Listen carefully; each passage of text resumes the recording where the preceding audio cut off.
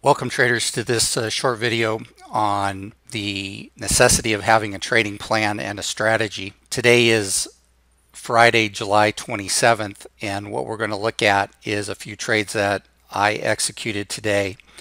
And to give you some sort of context, at 8.30 in the morning we had a news release of a good GDP number and the retail buyers basically took it up to uh, 28.44 and then we had an exhaustion trade in my opinion one of my favorite trades because when there is good news such as this that is typically bad news for the market because what the market's going to view that as is a possibility that the Fed will tighten interest rates based on this good news.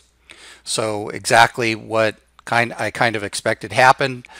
We see we traded into an exhaustion trade and that's probably going to end up being the high of the day absent any other news. I'm making this video at 11:30 Eastern, but the market has been selling off constantly since that news release. Let's take a look at a couple trades that I made. The first is that we had a good number here against resistance and the fact that the market came through this blue support zone that's what set up the trade for me. I entered the trade at 36.50. It initially went uh, a few ticks in my favor and then came back I wasn't stopped out. However, the dollar sign tick was slightly higher. And as we came back again to test that low on high volume, we formed a ZTP order flow buy. And immediately on the next bar, I took a one tick profit and got out of that trade.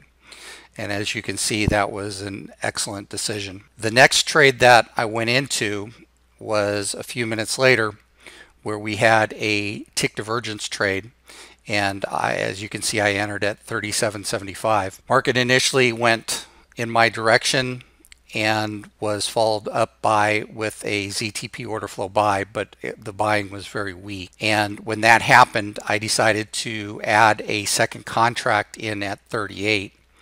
And that's according to my trading plan. What I did by adding that contract at 38, I am getting a better risk reward off of that. And at the same time, my stop was moved to 38.75, risking just three ticks. However, as that trade progressed immediately after I entered, the tick became non-divergent. And you can see that by this red dot here and the fact that the tick divergence label has gone to red instead of black. So because of that, what my trading plan at that point is going to do is I'm just going to look to make nine ticks out of this.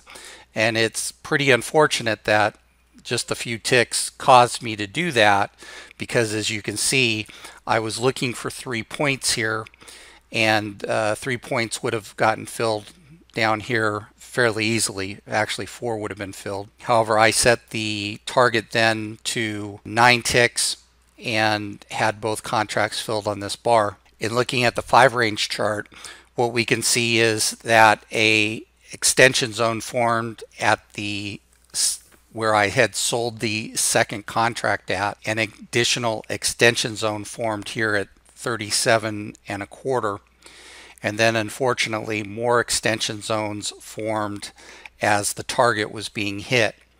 However, because I was following my trading plan and normally you would expect to see some sort of bounce at this price, I don't have any regrets in taking it off at this uh, at this level. Basically, absent a significant reason to trade, and the loss of the tick divergence pattern, I felt comfortable in that exit.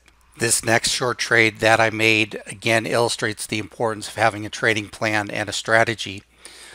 I entered this trade as a trend trade, again looking to make nine ticks. And as you can see, the uh, trade filled here at uh, 275 and the target filled exactly at the low of 3050 and after that contract had been filled you can see that we uh, formed a ZTP order flow buy signal taking the market up uh, another six or seven ticks. So all in all that was a good day making six points off of those couple of trades. If you have any questions please feel free to give me a call. Thank you for watching.